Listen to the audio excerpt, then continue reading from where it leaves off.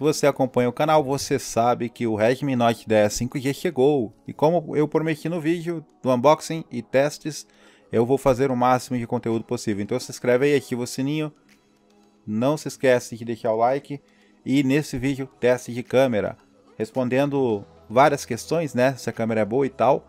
É, mas principalmente se dá para criar conteúdo com esse celular. Eu sei que muito criador de conteúdo começa com celulares. Eu, inclusive, até hoje uso celular. É, hoje, claro, um celular melhor, mas quando eu comecei eu usava o Honor, é, da...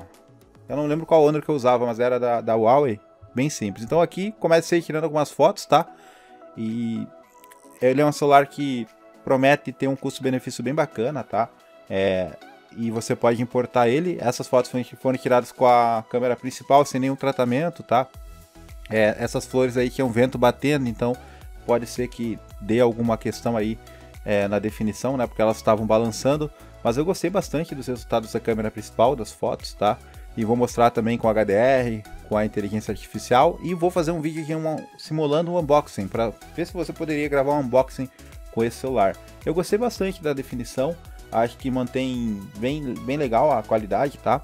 Eu já tive alguns celulares da Xiaomi, eu tive o Redmi 9T e sempre gravei vídeos para o YouTube com celulares com 63, então celulares o 63, por exemplo, não era tão caro, tá?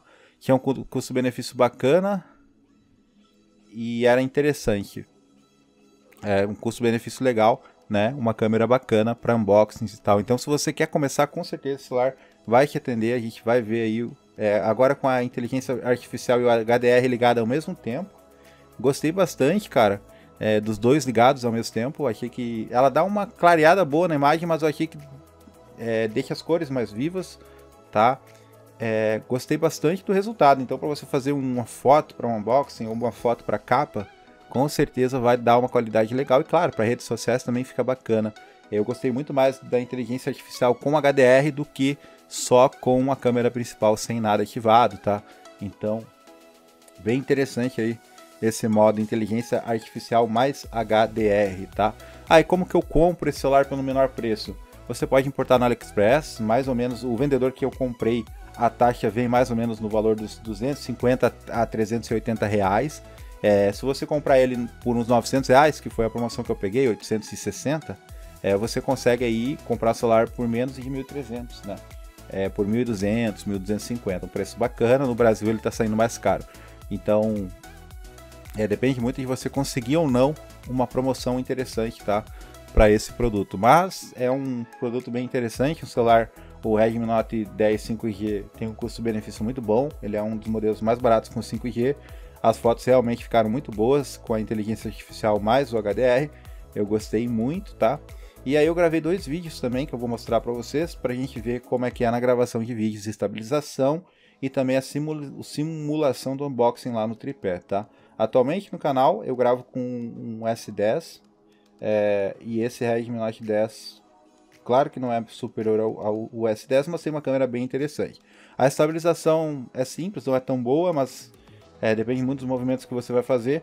Eu gostei da qualidade do vídeo, tá? É bem interessante. Achei bem, bem bacana, tá? Gostei mesmo. Achei bom. Você tá vendo aí. É, me surpreendeu positivamente porque tava bem nublado e não tem nenhum tratamento.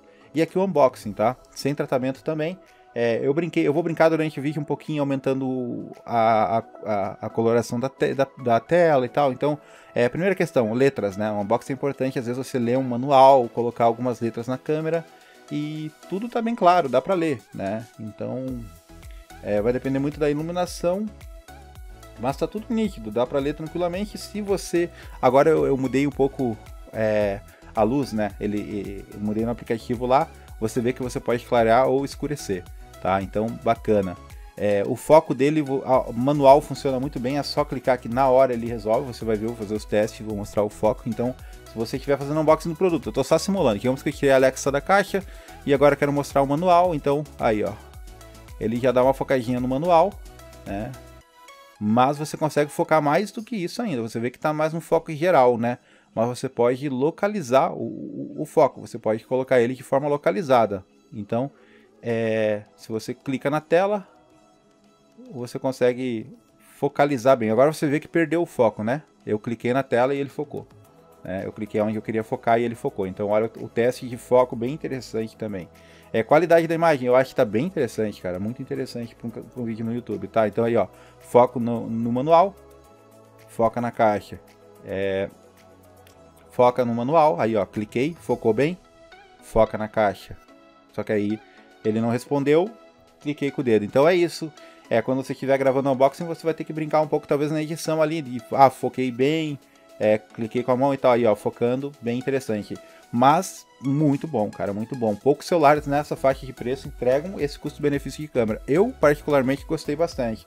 Isso é cru, sem nenhum tratamento, você pode fazer o tratamento de imagem, você pode melhorar bastante o resultado disso. Então, espero que você tenha gostado. Se inscreve no canal, ativa o sininho. Tamo junto, valeu e fui!